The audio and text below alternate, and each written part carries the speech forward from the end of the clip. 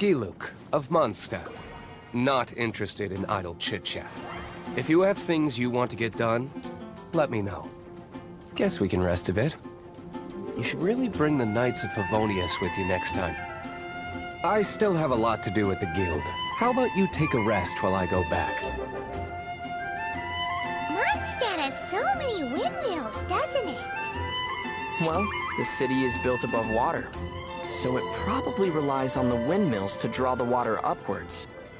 That's correct. The winds blow through Mondstadt all year, so this supply of water is very stable. Also, the windmills are what they call visible winds, and wind chimes are called the audible winds. Paimon guesses they can be thought of as mascots and prayers to the Anemo Archon for protection. Ah, mascots. So, like you then, Paimon. No, not at all! They're made of wood, and you can't eat them in an emergency either, because all you'll do is grind your teeth down. Uh, I don't know what to say to that. Paimon finds that hard work hardly works here in Mondstadt. Why do you say that? Just look at Huffman from the Knights of Favonius. He does his best at his duties every day. But the ever-relaxed Captain Kaeya is his boss. Hmm, but isn't Jean, who works the hardest, the acting Grand Master? Well, how about this then? Venti's the god of Mondstadt, and he's the laziest of them all. Everyone says that Mondstadt is the land of the wind. but I wonder which direction the seasonal winds come from. Why don't we ask Venti? He'll probably just dodge the question with a or something. True.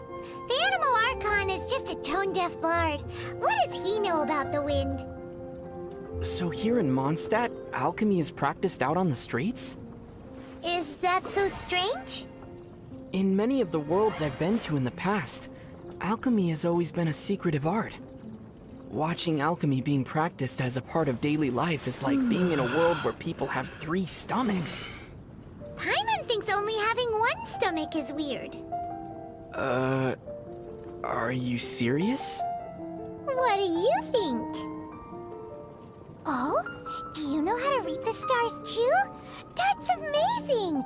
Not a lot of people outside Sumeru can do it. Paimon's curious. Come on, do a reading for me, quick! Hmm. The movement of these stars tells me that in, say, seven days from now, In seven days what? something good or something bad might occur. Right. Your theory sounds as rock solid as a geoslime. And about as brainy, too. On the way back to Mondstadt after rescuing Dvalin, we finally got to see one of the seven Archons, didn't we? It was interesting to see what kind of god he was. Hmm.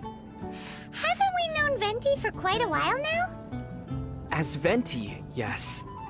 But still, this was the first time that we got to see him as the Anemo Archon Barbatos. People say that when Barbatos made this land, he used the storm to flatten the cliffs and valleys. Still, it looks like he missed a few spots. Like Star Snatch Cliff? Exactly. On the map, it almost looks as if it was meant to be the apex of a vertical structure, but ended up at the wrong orientation. W what's an apex? Paimon's heard that couplets are a traditional art form in Liyue. If you can write a line that works as a second half to one that someone else has written, you'll be well paid. But linking the couplet is hard,